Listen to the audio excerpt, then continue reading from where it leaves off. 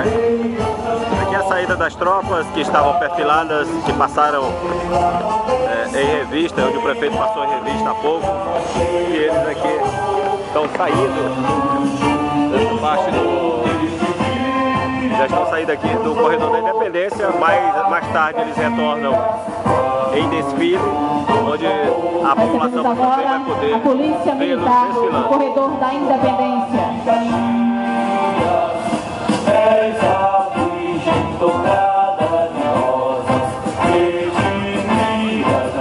À nossa frente o pelotão da Guarda Municipal, sob o comando da inspetora Rosiane Costa.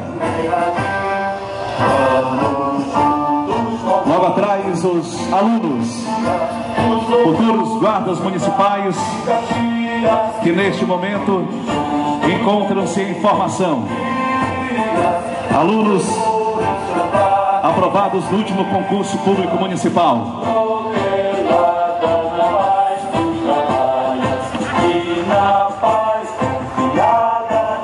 Agentes de trânsito.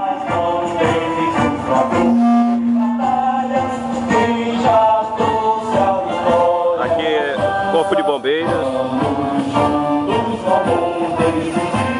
Profissionais. Bombeiros civis do grupamento Águia de Fogo GAF.